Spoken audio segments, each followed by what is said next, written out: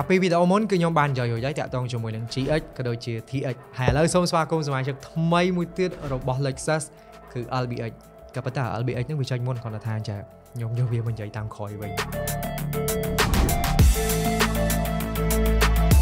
ក៏ប៉ុន្តែមុននឹងចូលទៅដល់ប្រធានបទរបស់យើងឥឡូវសូម shout out to sponsor មួយសិនអញ្ចឹងបើសិនជាប្រិយមិត្តទាំងអស់គ្នាចង់រកទិញគ្រឿងបន្លាស់ក៏ដូចជាផលិតផលថែទាំរថយន្តដែលមានគុណភាពខ្ពស់ហើយដឹកដល់ផ្ទះដោយ free ទៀតអាចចូលទៅកាន់ website ឬមួយក៏ mobile app របស់ Niron Marketplace បាន Niron Marketplace គឺជាកន្លែងមួយដែលប្រមូលផ្ដុំទៅដោយអ្នកលក់គ្រឿងបន្លាស់ផលិតផលថែទាំរថយន្តក៏ដូចជាមានសេវាកម្មទិញលក់រថយន្តហើយនឹងដេញថ្លៃដែរអញ្ចឹងអាចចូលទៅទិញយក app របស់ Niron បាន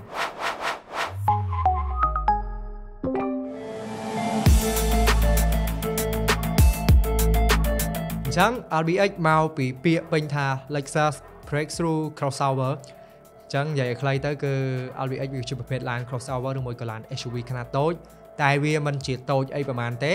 ហើយម្ដងហ្នឹង Lexus ក៏បានខុសប្រវត្តិសាស្ត្រយកមកប្រើឡើងវិញដែរដោយសារតែកាលពីមុនឡាន Lexus ទាំងអស់គឺប្រើតែ2តួអក្សរទេ3តួអក្សរតែ LFA មួយទេគឺជាប្រភេទឡាន Sport ហើយឥឡូវនេះគឺមាន LBX មកមួយទេហើយដែលប្រើជាមួយនឹង3តួអក្សរហើយ LBX ហ្នឹងក៏វារៀងខុសពីគេទៀតវារៀងចម្លែកជាងគេបងណា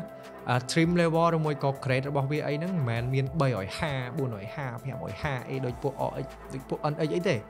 ចេញមកគឺឆ្កយឯងហ្មង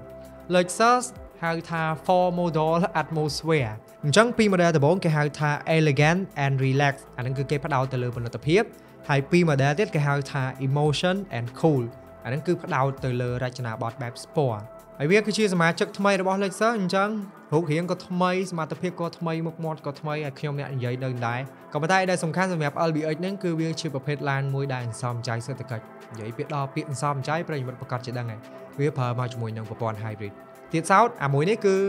ផ្ដោតនៅលើទីផ្សារអឺរ៉ុបទីផ្សារអឺរ៉ុបគឺគេលើកទឹកចិត្តឡានណាដែល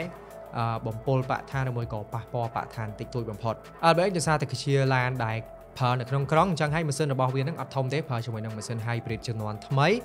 ដែលមានចំណុះ1.5លីត្រ3ស៊ីឡាំងទេតែអាចផលិតកម្លាំងបាន136សេះនិយាយទៅប្រហែលទៅនឹង Lexus CT ជំនាន់មុន011 012អីដែរហើយប៉ុន្តែ Proof 010ឬមួយក៏ Proof ជំនាន់ទី3អីដែរ ជាមួយនឹងកម្លាំងរមួលរបស់វាហ្នឹងគឺ185 Nm ហើយម៉ាស៊ីន hybrid នេះគឺជាម៉ាស៊ីន hybrid ជំនាន់ថ្មីដែលគេបានកែតម្រង់វិស្វកម្មមួយចំនួនដូចជា Trend Axle ក៏ដូចជា Power Control Unit អីហ្នឹងវារៀងតូចជាងមុនចឹងកាលណាតែវាតូចជាងមុនវាស្រាជាងមុនវាស៊ីធម្មពលក៏តិចជាងមុនដែរមិនសមចៃសាំងបានច្រើនហើយគ្រឿងបង្គុំថ្មីនេះគឺវាប្រើមកជាមួយនឹង resistance ទៀតក៏ប៉ុន្តែធម្មពលឬមួយក៏ output ដែលបញ្ចេញមកវិញហ្នឹងគឺខ្លាំងឬមួយក៏ខ្ពស់ជាមួយនឹងអាគុយប្រភេទថ្មីវាមិនថ្មីអីពេកទេ វាប្រើជាមួយនឹងអាគុយ Nikkei Metal ដដែលគាត់ថា update តិចដែលគេហៅថា bipolar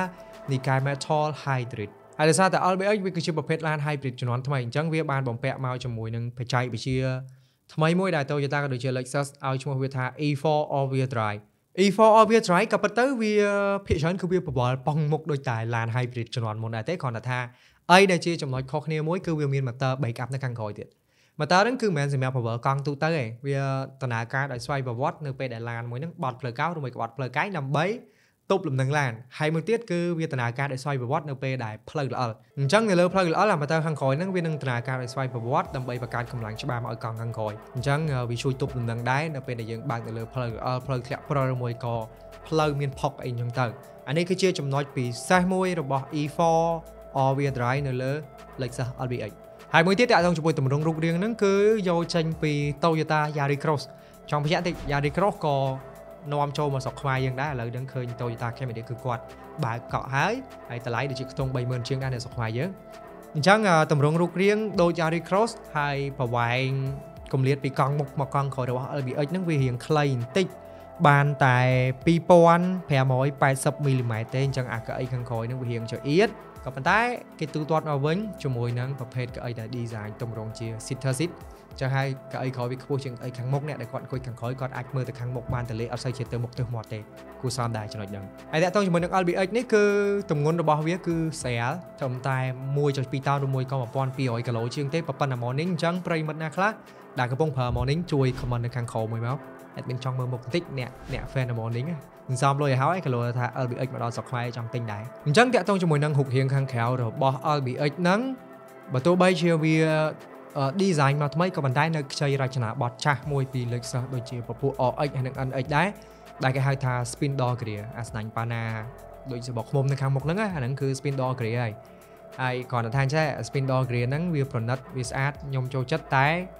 អាមែនតែនទៅអាហ្នឹងគឺផុយជ័រសតហ្មងប្រិយមិត្តទាំងអស់គ្នាដូចមិត្តភក្តិខ្ញុំមួយអីគឺមានឡានអា NX ហ្នឹងប្រើជាមួយនឹង spin door grey ហ្នឹងប៉ះតែបន្តិចគឺបែកខ្ទេចហ្មងអា spin door grey ហ្នឹងអត់សូវជាល្អហ្មងតែវាល្អមើលមើលទៅគឺ lock cool ហ្មងហើយតាក់ទងជាមួយនឹងការរចនាផ្នែកខាងក្រោយគឺប្រើមកជាមួយនឹងចង្គៀងរៀង slim អូសកាត់មួយខ្សែពេញគេហៅថា L shape ដូចនឹង LX TX ឬមួយក៏ GX ដែរហើយតែឃើញអាចង្គៀង L shape ហ្នឹងមកអាហ្នឹងគឺយើងដឹងថា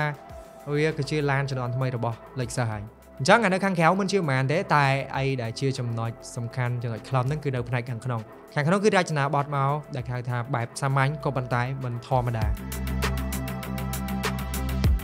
ចឹងនៅខាងក្នុងនេះវាមិនចាញ់ពួកអាធំអីប្រហែលទេគ្រាន់តែថាចេះគេបានតម្លាក់គុណភាពតម្លាក់ quality បន្តិច ដោយស្បែកពុកឯហ្នឹងមិនមែនស្បែកសុទ្ធមិនមែនស្បែកឆៅស្បែកប៉និតអីទេវាគឺជាប្រភេទស្បែកកែច្នៃណាដែលគេហៅថា synthetic lip surface អញ្ចឹងវាមិនបានស្បែកសុទ្ធអីទេតែយ៉ាងណាក៏វាគ្រាន់បើដែរហើយនៅខាងក្នុងហ្នឹងគឺមាន ambient light ចំនួន50ពណ៌យើងអាចដូរពណ៌បានទៀត ហើយជាស្តង់ដារដូចទៅនឹងពួកអាធំទើបអញ្ចឹងដែរអាតូចមួយនេះគឺវាប្រើមកជាមួយនឹងកុងទ័រ digital 12.3 inch ហើយមាន head up display ទៀតអញ្ចឹងខ្មែរយើងហៅអីគេកុងទ័រ slide នៅលើកញ្ចក់អស់ហើយ head up display ហ្នឹងយើងអាចមើលព័ត៌មានបើកបរនៅនៅលើកញ្ចក់ហ្នឹងហ្មងបាច់មើលកុងទ័រក៏បានដែរអញ្ចឹងវាស្រួលមើល តែរៀងអន់ចិត្តបន្តិចដោយសារតែអេក្រង់របស់វាហ្នឹងគឺតូចបានតែ9.8អ៊ីងទេហើយវាគ្រាន់បើដែរដោយសារតែអេក្រង់នេះគឺមានភ្ជាប់មកជាមួយនឹងមុខងារ voice assistant អញ្ចឹងយើងអាចនិយាយឆ្លងឆ្លើយពីជាមុខងារផ្សេងផ្សេងជាមួយឡានបានហើយនៅស្រុកគេពិសេសមួយទៀតដូចនៅអាមេរិកក៏ដូចជានៅអឺរ៉ុបហ្នឹងវាមានមុខងារ satellite navigation ណាអញ្ចឹងវាចាប់សញ្ញា direct ពីផ្កាយ knob យើងអាចមើលផែនទីបានចូលដល់ព្រៃជ្រៅប៉ុណ្ណាក៏នៅតែមើលផែនទីមើលផ្លូវបានដែរនៅស្រុកយើងតតបៅ Google Map ហើយអា satellite navigation system នៅលើ LBX ហ្នឹងយើងអាចមើលដឹងថានៅខាងមុខហ្នឹងកំពុងស្ទះផ្លូវឬមួយក៏អត់ទៀតបាច់បើកអ៊ីនធឺណិតក៏បានដែរមើល direct ជាមួយនឹងអេក្រង់9.8អ៊ីងហ្នឹងហ្មងអញ្ចឹងវាស្រួលហើយរបស់ប្រចាំតកោមួយទៀតដែល Lexus អត់ដែរចោលហ្នឹងគឺ speaker Mark Levinson ម្ដងនេះគឺមានចំនួន13គ្រាប់13គ្រាប់នេះគឺវាមានភ្ជាប់មកជាមួយនឹងមុខងារ noise cancelling system ទៀតអញ្ចឹង វាបង្កើត frame កង់មួយប្រឆាំងជាមួយនឹង frame កង់មកពីខាងក្រៅ frame កង់សលេងមកពីខាងក្រៅចឹងហើយវាធ្វើឲ្យនៅខាងក្នុង cabin នេះគឺវាស្ងាត់ល្អអានឹងគឺជាចំណុចខ្លឹមរបស់ Lexus LBX អញ្ចឹងសរុបទូទៅមកវិញ LBX នេះចំណុចខ្លឹមរបស់វាគឺឡានតូចប្រើនៅក្នុងក្រុងស្រួលបើក ហើយវាអន្សមចៃដោយសារតែម៉ាស៊ីន hybrid 3ស៊ីឡាំងទេហើយវាស៊ីសាំងតិចតែអត់ទាន់អត់ទាន់ដឹងថាស៊ីប៉ុណ្ណាគ្រាន់ដឹងថាស៊ីតិច Lexus អត់ទាន់បញ្ចេញកម្រិតស៊ីសាំងផ្លូវការអីទេហើយតម្លៃប៉ុណ្ណាក៏អត់ទាន់ដឹងដែរប្រហែលជាអាចនឹងចេញតម្លៃនៅចុងឆ្នាំឬមួយក៏ដើមឆ្នាំក្រោយអញ្ចឹងបើសិនជាមានអីអាប់ដេតបន្ថែមយើងនឹងអាប់ដេតនៅក្នុងវីដេអូក្រោយទៀតព្រមបន្តហើយកុំភ្លេចជួយចុច follow page subscribe channel បានអូតូមួយទៅដើម្បីតាមដានវីដេអូក្រោយៗទៀតហើយចូលទៅ follow TikTok ផងបើសិនចង់មើល content ខ្លីៗណាអញ្ចឹង Tom គាត់ធ្វើវីដេអូខ្លីៗដាក់នៅក្នុង TikTok របស់ Advan Auto អូខេអញ្ចឹង stay tuned ឯងគណៈជួបគ្នានៅក្នុងវីដេអូក្រោយទៀតអរគុណបាយបាយជម្រាបលា peace